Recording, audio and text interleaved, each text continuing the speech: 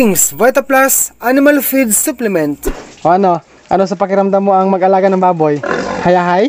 Hi guys, magandang araw po sa ating lahat. For today's video guys, isi-share po namin sa inyo guys ang pagpapaligo namin ni Mrs. ngayon sa amin po mga fatteners po na pangatlong araw na ngayon simula nagpurga si technician namin sa aming mga fatteners. Then as of now po ay hinahanda muna ni Mrs. ang feeds digestion with mix of rice bran para mababad po habang kanya pong paliguan ang amin pong baboy inahin. Nag-iisang baboy inahin. Okay, so ibabad mo muna. Ay, lagyan mo ng ano ha, ng King's Beta Plus Animal Feed Supplement. Ayan o. May gunting naman dyan, butasan mo na lang. Tapos, ibabad mo rin. Isama mo na paglagay sa tubig.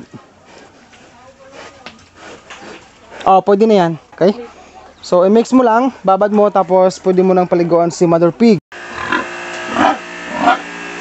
Ayan guys, babasain po ang katawan sa baboy para masabunan, mabrasan at banlawan para kumain na po. Kailangan po talaga ng brasan minsan guys dahil gustong gusto po ng baboy inahin namin na ginaganyan ang kanyang katawan. Gigid-gid yan sa kabilya kasi makati yan. So ngayon guys ay makikita po natin itong aming baboy inahin po ay 28 days old na po siya simula sa pag-AI namin sa kanya. Gustong gusto po ni Mother Pig na binabras po ang kanyang katawan. So mabilis siyang tumaba guys kasi ganyan po talaga ang baboy inahin. Pag nabuntis yan, mabilis pong tumaba ang kanyang katawan. Yung kanyang liig, brasan mo rin dito. Yan o, may lagom oh.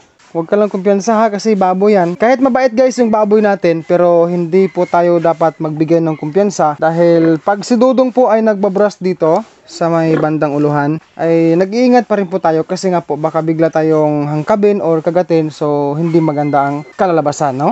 Akin na. Banlawan natin guys ha.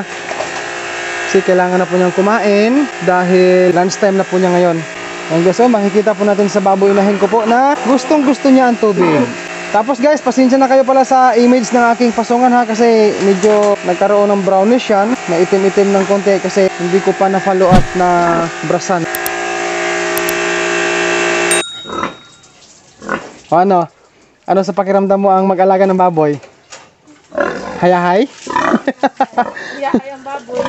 Hayahay baboy guys pero ang katotohanan dyan ang mga beginners sa ang katotohanan pag tayo po ay nag-alaga ng baboy nandyan po talaga yung salitang rest. Talagang minsan po ay naano tayo napipressure tayo lalo na kung marami tayong mga baboy. Tapos sabay-sabay po silang iingay dahil gutom. So tayo bilang hog racer no, nag-alaga ng baboy ay maranasan natin na mas stress din po tayo. Kasi nga po sa ingay pa lang nila ay nakaka-stress din. Pero kahit ganyan natatanggal din po ang ating stress pag sila ay atin pong nakikita na masisigla. Walang sakit healthy body ano yan feeding na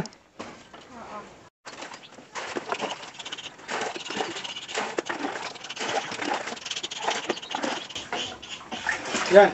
So ganito guys, makikita po natin, isang puno na balde, pero guys, kaya pong ubusin ni Mother Pig ito. Kasi talagang malakas po siya sa water. Okay, let's proceed sa mga fatteners. Madudungis ang mga baboy ni Dodong. Kasi ngayon pala sila mapaliguan, simula nang nagpurga tayo sa mga baboy na ito. Guys, pasintabi lang ha sa mga kumakain dyan.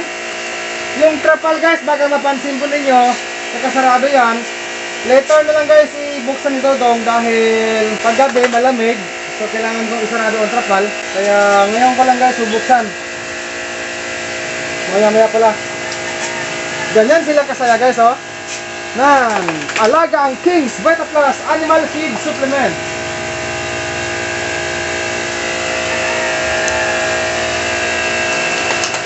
Okay? Atin muna guys itaas yung trapal guys para mas mahangin.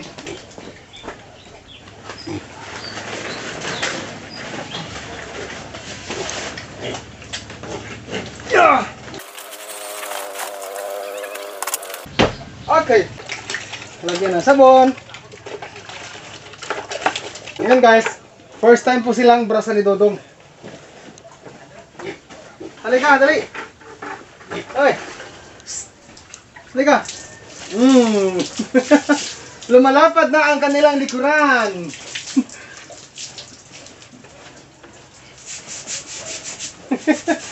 Hala. Papasukin ko kayo. Siya nga pala guys, may nag-comment dyan, no? may nagsabi dyan sa akin na makikita mo naman sa mga nag-alaga sa baboy na masaya. Andin yung mga baboy, masasaya. Ganun po talaga ang gagawin natin viewers. Kailangan magiging masaya tayo sa ating ginagawa sa araw-araw.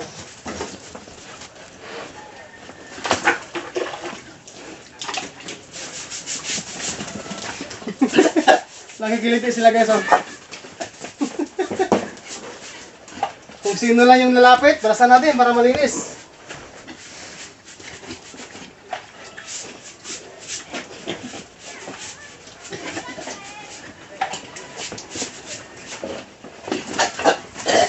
Oh, hali, dali ka, dali. Come on, come on, come on. Mm. Namimiss nila ang pagpapaligo ni Dodong.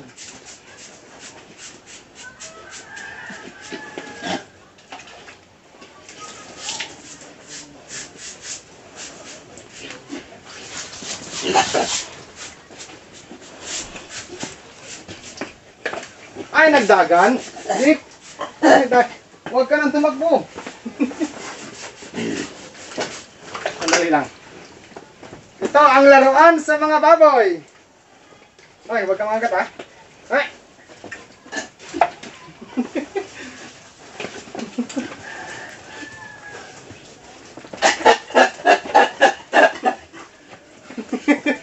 Lumalaki na guys oh.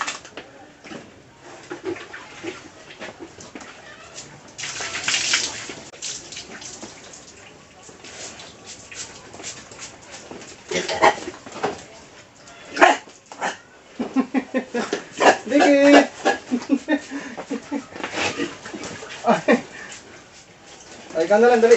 Ito, mabait eh. Diki, come on!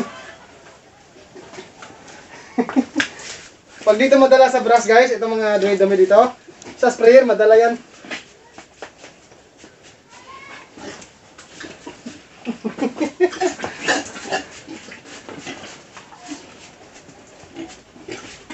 Tama na yan.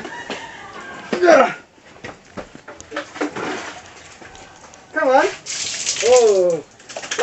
Lapit, Diki, lapit. Dik. Ah.